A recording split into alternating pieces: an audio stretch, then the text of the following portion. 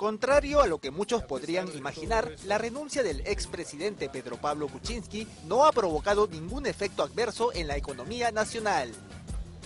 De hecho, tras la juramentación de Martín Vizcarra como nuevo presidente del Perú, el precio del dólar cayó al cierre de la jornada. El Banco Central de Reserva del Perú informó que la moneda norteamericana se cotiza en 3.22 soles, mientras que a primeras horas de la mañana su valor alcanzó los 3.24 soles.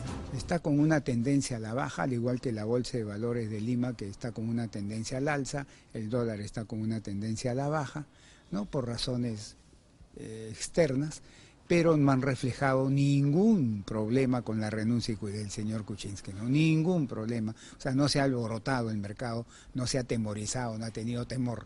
Han hecho su vida normal. En cuanto a la Bolsa de Valores de Lima, la renuncia de Kuczynski fue considerada por los inversionistas como positiva y el mercado local cerró la semana con rendimientos positivos. En ese sentido, el economista Jorge González Izquierdo señaló que ahora se abre una nueva ventana de posibilidades para el Perú. A pesar que la señora Mercedes Arauz, el señor Gilbert Violet, el señor Juan Cheput y otros, señor Bruce, salían a decir que si salía Kuczynski, la economía peruana iba a hacer esto. Señores, no ha hecho esto.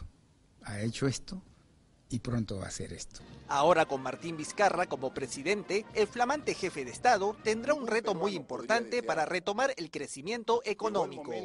El principal reto es que en un lapso no mayor de 12 meses, no mayor de 12 meses, haga que la economía peruana, que está así, la haga así. ¿Qué significa eso? Que en un, en un lapso no mayor a 12 meses la economía peruana debe estar creciendo alrededor de 4% al año, porque hoy día está creciendo un poco por encima de 2%. Según el experto, si esto se cumple, se podrá notar el efecto positivo en la vida cotidiana del ciudadano de a pie rápidamente. El empleo, la, la oportunidad de conseguir chamba, trabajo, también aumenta fuertemente. Segundo, porque cuando la economía hace esto rápidamente, mis ingresos comienzan a hacer esto también. Y tercero, cuando la economía hace esto rápidamente, mi acceso al crédito aumenta, mejora y también los costos bajan.